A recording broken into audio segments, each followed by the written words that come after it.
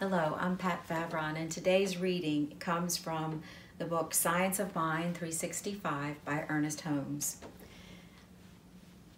A certain future awaits me.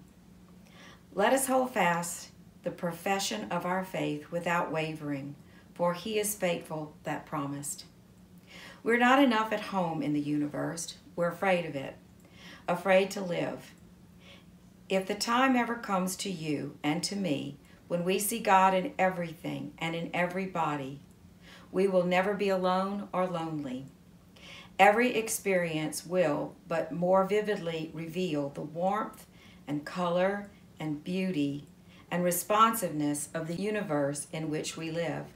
Its entire nature is given to us.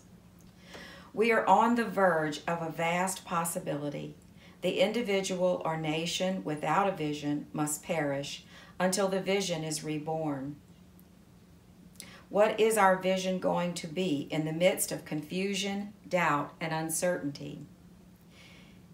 It is either going to fall before the confusion and be destroyed, or something transcendent within us is going to rise and look to a certain future, to an eternal reality, to a God principle, to an infinite presence responding to us according to our acceptance.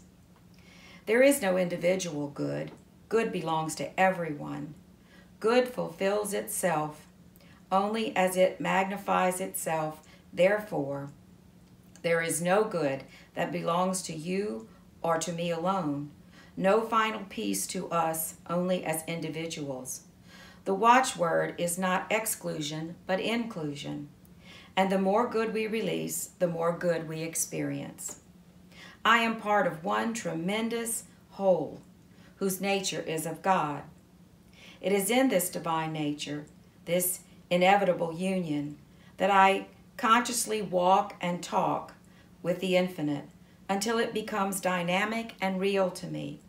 I am thankful for every opportunity to let God's life be expressed through me.